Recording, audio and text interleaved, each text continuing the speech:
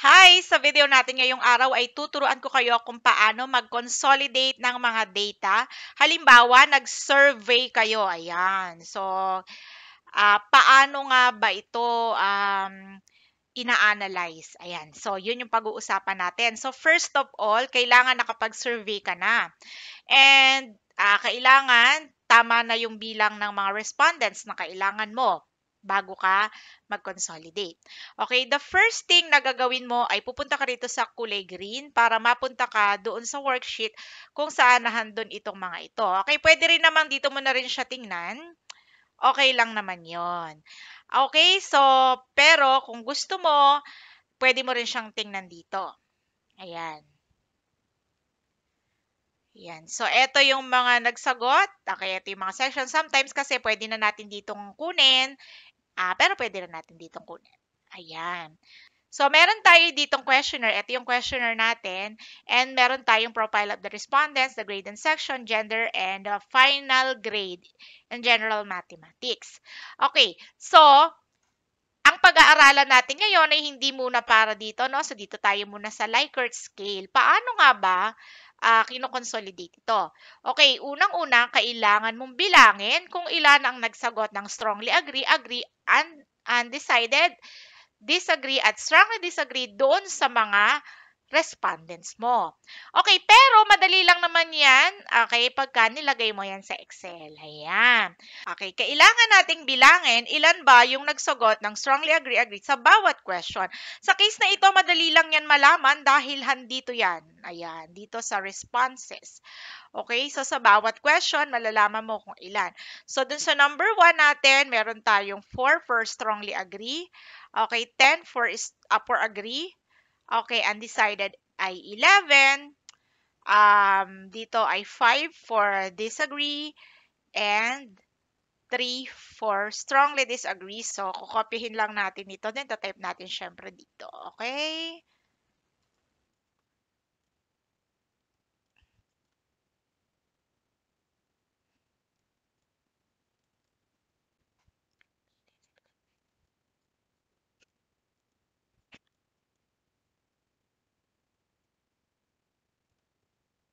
Ayan, so nailagay na natin yung ating mga data para makasigurado ka kung tama yung uh, number na nailagay mo. Kailangan mong kunin yung sum, ano? Kailangan uh, tally yan sa number of respondents mo, no? So, 33 yung respondents natin. Dapat lahat yan 33. Pag hindi, kailangan mo siyang i-double check. Okay. So, ang susunod natin gagawin ay kailangan nating i-compute. Okay? So, lagi nyo tatandaan na ang bawat isang number dito ay may katumbas na o bawat isang uh, word dito sa taas na to o yung choices mo ay may katumbas na number. It's either 5, 4, 3, 2, 1 or 1, 2, 3, 4, 5 kung ano yung um, nilagay mo dun sa questionnaire mo. Paano ba natin ito i-compute? The first thing na kailangan mong gawin ay hanapin mo lahat ng mga positive question. I- kailangan natin siyang i-separate from the negative questions dahil magkaiba ang paraan ng kanilang pagko-compute. Okay, lahat ng mga positive question ay gagawin nating yellow. Okay, so So, number one is a negative question kasi dislike. Okay, so that is negative question. Okay, so now Number two is also a negative question. Number three is a positive question. Number four is a negative question.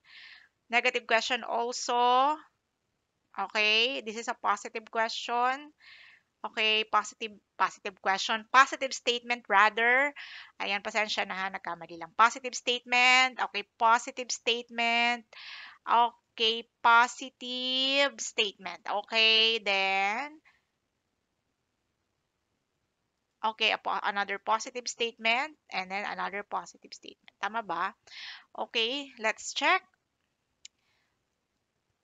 Ay, ito. This one is a negative statement pala. Okay, so 1, 2, 3, 4, 5 uh, negative statement and 6 positive statement. Ang gagawin natin, lahat ng positive statement ay gagawin natin 5, 4, 3, 2, 1. Ang computation.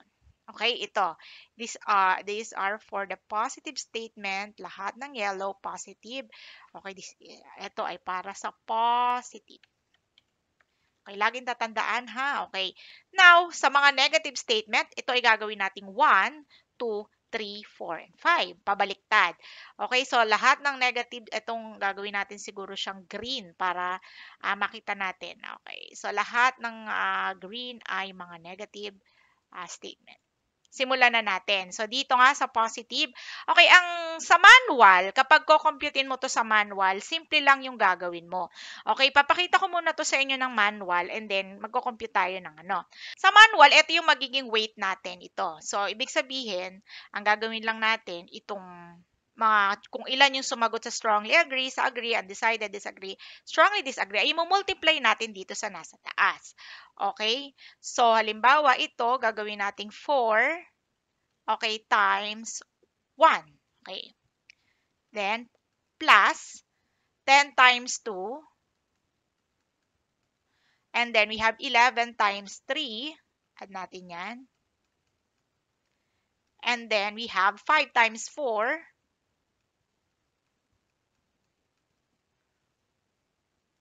Okay, and then we have 3 times 1.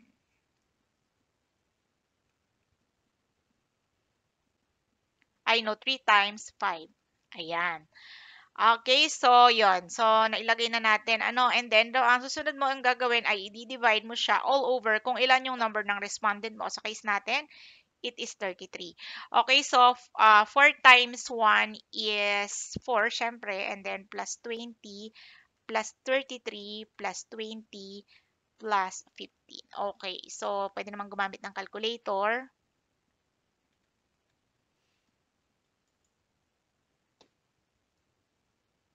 Okay, so 4 okay, plus 20 plus 33 plus 20 plus 15.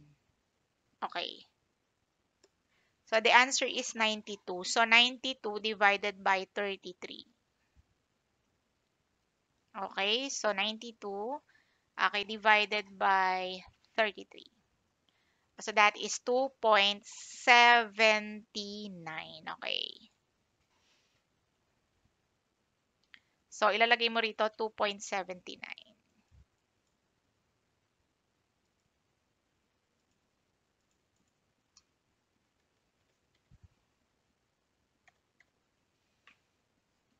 Okay, so ganon, ano, kapag manual. Ngayon naman, kapag ka positive, syempre, pabaliktad. Okay, dito mo naman i-multiply. Pero i-compute natin yan ng, ano, okay, ng gagamitan ng formula. Okay, so dito muna tayo, manual muna ulit. Okay, so ganon, ano, 2, dahil positive to, yellow, 2 times 5. Okay, 2 times 5 is 10. And then we have here 10 times 4, of course, we have 40. And then we have here 15 times 3. Of course, we have 45. And then we have 6 times 2. We have 12. Okay? And then wala tayong ano, so 0, wala kang i-multiply doon. Okay? Divided by 33 uh, pa din. Ayan, divided by 33. Okay. Now,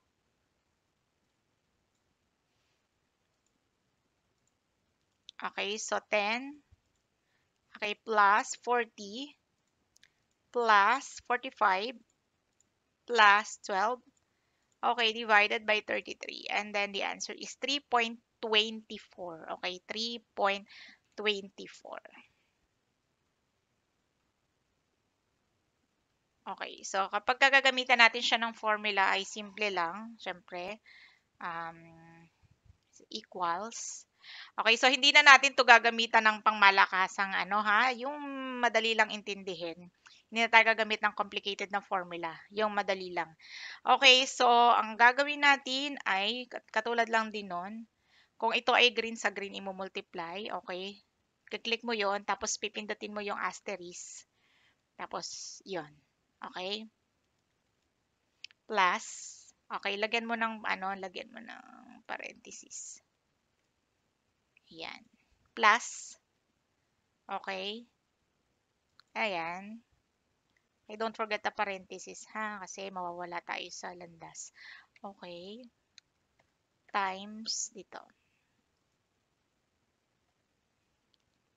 Okay, plus parenthesis. Ito. times dito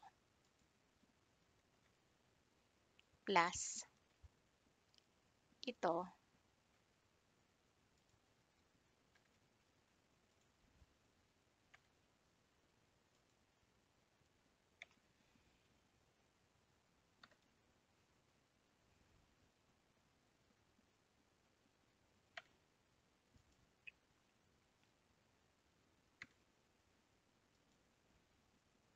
Okay.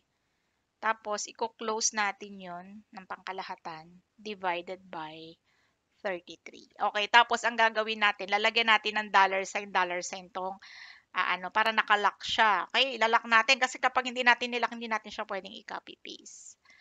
Um, gagalaw yung ano natin. So, lalagyan mo ng dollar sign, dollar sign yung pagitan.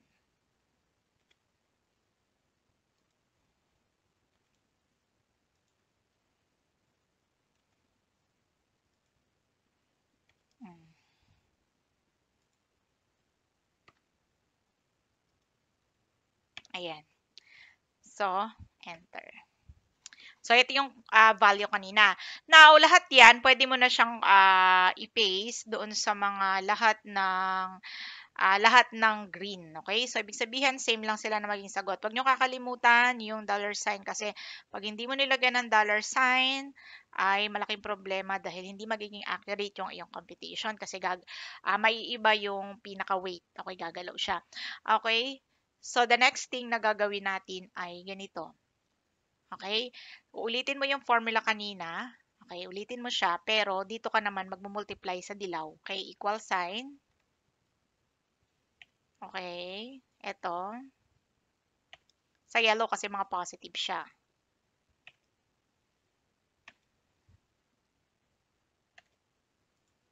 Okay. Asterisk, and then dito. Click-click lang.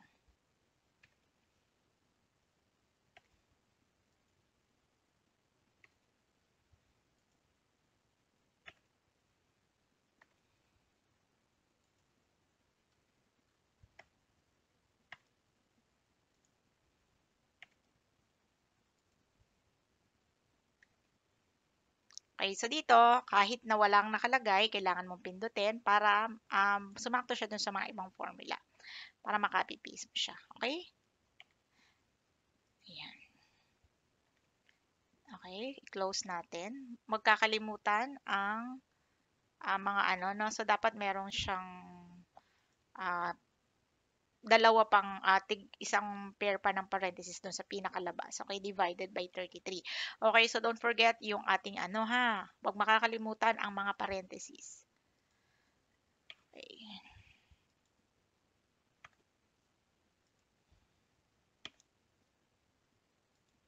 Okay, so after nating malagyan ng dollar sign, i-enter natin and ito na yung ano. Okay, so ikakopy mo yan dun sa lahat ng yellow.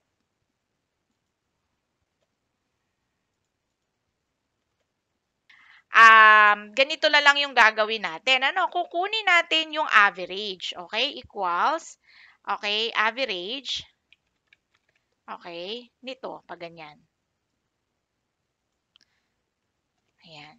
Then, enter. So, gaya ng nasabi ko, dito may mga cases na sometimes pwede mo siyang lagyan ng uh, uh, agree, agree, strongly disagree, depende dun sa naging value. Kaya lang, sa case ng lumabas uh, sa, sa case kasi natin, it is engagement wherein sa questionnaire natin halo ang positive and negative. Okay, so siguro ito na lang din yung ilagay natin. Kung base sa question, highly engaged ba siya? Okay, sa, tumutukoy ba siya na highly engaged ba siya sa mathematics? Okay, so ngayon, paano naman to uh, ito. Paano natin malalaman? Okay, so naituro ko na to dun sa ating previous na pinag-aralan. Kailangan natin tong uh, kunan ng range. Okay, so since hinati natin to sa apat, okay, so ang gagawin natin ay kung lima yung choices mo, okay, so gagawin natin 5, uh, minus 1, ayan, ito yung highest value and then the lowest value. So, 5, 4, 3, 2, 1, 1, 2, 3, 4, 5.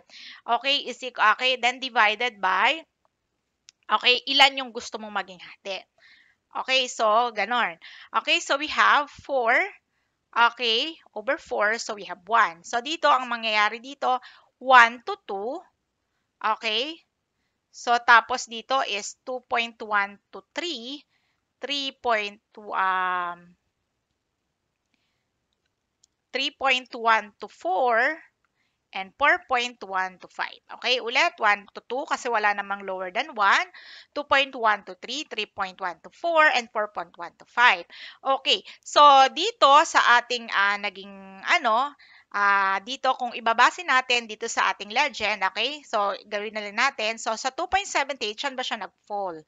Ibig sabihin, uh, since ito ay nag-fall sa 2.78 nandito, masasabi natin na ang mga estudyante ay barely engaged lang sa mathematics when it comes sa question na to. Okay, now, I am always confused with mathematics and then 2.9. So, ibig sabihin, sa 2.9, naka-barely engaged din siya. Okay. Now, I have usually enjoyed studying mathematics in school. It is 3.24. Pumasok siya dito. It is moderately engaged. Ayan. So, next we have the mathematics is boring, 2.66. So, pumasok din siya rito. Pumasok siya dito.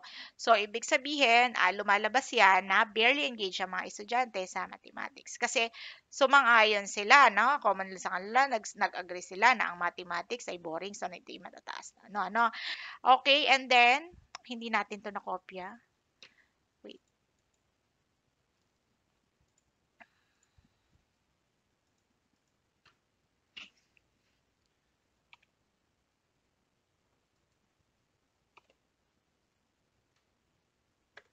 Okay, so they have here 3.8. Mathematics is very interesting. Okay? So, ayan. So, for 3.8, we have moderately engaged. Okay, and then we have here 3.8. I'm willing to take more than the required amount of mathematics. So, 3.8. Okay, this is moderately engaged. Okay, and then the challenge of math appeals to me and then moderately engaged. Masasabi natin na dahil 3.08, lagpas na siya sa 3. Lagpas na siya sa 3. Hanggang dito lang ang titingnan natin. Yan. So, lagpas siya sa 3. Okay, pag na-round up natin siya to one decimal place, 3.1 to. Okay? Pero kung 3.04 to, pasok siya sa 3. Round down. Okay? So, 3.08 kapag ka sa 1 decimal place, okay, papasok yan na 3.1. Okay? Ayan. 1 decimal ang iwan natin, 1 decimal dito. 3.1. Okay? Kaya lang, ayon. So, dito ay masasabi natin na ang mga estudyante ay moderately engaged. Moderately engaged sila sa mathematics. Although maraming uh, barely engaged, okay, marami ding moderate engaged. 1, 2, 3, 4, okay, 5, okay, 6. Ayan. So, the students are moderately engaged in mathematics.